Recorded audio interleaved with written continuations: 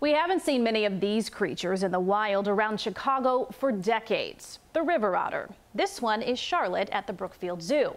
But lately, people have spotted them, two of them. And that could be a sign of cleaner water in rivers and ponds. CBS 2's Vince Gerasole shows us why.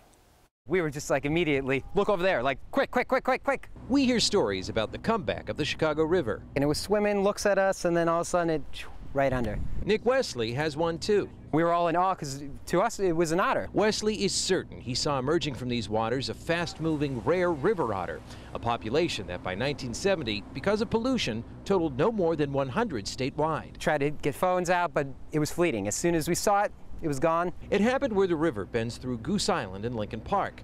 That's where Wesley and his nonprofit Urban Rivers are already building floating habitats to feed and attract more wildlife around the slowly improving river. Finally, there's things that are changing.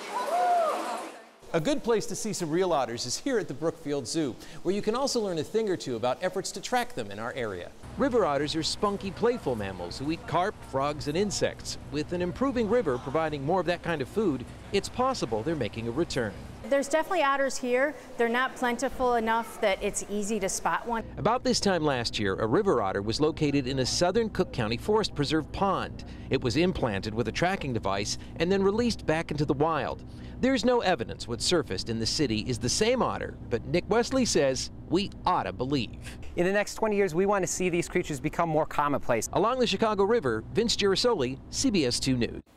Cook County Forest Preserve biologists tell us the otter that was released last year has apparently traveled from South Holland to the Lemont area. Makes so me want to visit Charlotte. Getting, getting around the area for sure. Yeah.